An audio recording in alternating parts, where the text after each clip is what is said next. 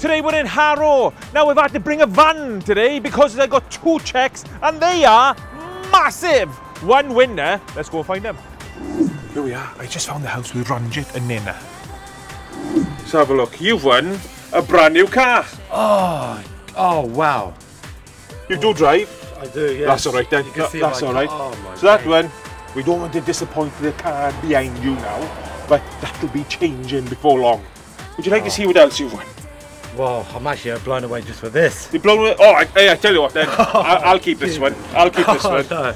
Or should we have a look? Have a look. Come on then. A hundred thousand pounds. Are you sure you don't want me to have this one? No, oh. this is real. Is this actually real? This is this is very real. So what are you going to do with a hundred thousand pounds and a brand new car?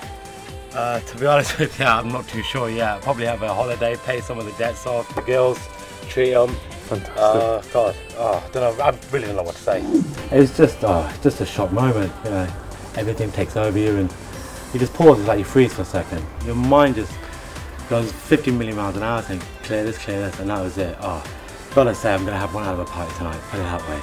Personally, lottery definitely recommend it because it's a good cause, and you never know. I mean, that's all it costs.